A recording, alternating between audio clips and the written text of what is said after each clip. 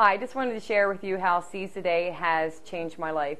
Seven years ago, my life was very unmanageable. However, with the help of Sees the Day, today I've celebrated seven years of recovery from, no, from the use of alcohol.